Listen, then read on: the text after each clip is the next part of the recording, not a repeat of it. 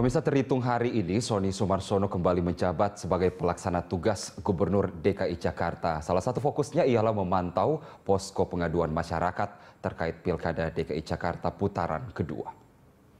Melalui posko pengaduan pilkada di Balai Kota, Pemprov DKI Jakarta berupaya menyelesaikan masalah-masalah seperti daftar pemilih tetap yang banyak terjadi di pilkada putaran pertama Selain itu, posko ini juga menampung laporan warga tentang indikasi kecurangan jelang pilkada putaran kedua.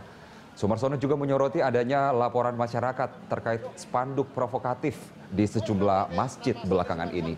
Sony kembali menjabat sebagai pelaksana tugas Gubernur DKI Jakarta hingga kampanye pilkada putaran kedua usai pada 15 April mendatang.